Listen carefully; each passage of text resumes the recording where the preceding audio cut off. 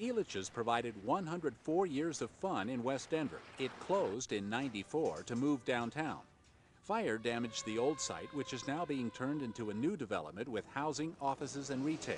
To make way for that, the Wildcat roller coaster, which opened in 1936, was demolished in December. Now, the second roller coaster at the old Elitch Gardens is coming down, the signature ride called the Twister. It's been here since the mid 60s. Neighbors across the street have different opinions. I think it's uh, very nice, kind of exciting in a sense. Something you get used to. Summers were horrendous. Very difficult to have a conversation uh, in the front yard with all the noise and the excitement of Elitch's going on. Yeah, I hate to see that go. Florence Henderson has lived in the neighborhood 75 years. when I was a kid, I used to come over here all the time.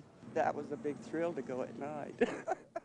Bob Fisher's sons used to have summer jobs at Elitch's. The oldest one always, when, he, when quitting time was approaching, he would quit a little early and ride the roller coaster. A crew used to check the twister every day. We'll all miss this coaster. We'll have, have a lot of memories there.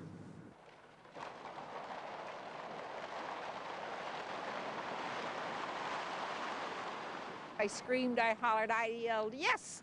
I'm excited because the neighborhood is going to change and it's all for the best. An end of an era of the old Elitches, but it's the beginning of a new era of the new Elitch development. And we're really looking forward to all the development and the new neighbors that are going to be moving into the neighborhood. The first homes at the old Elitch's may open late this year. Steve Lusk, News 4.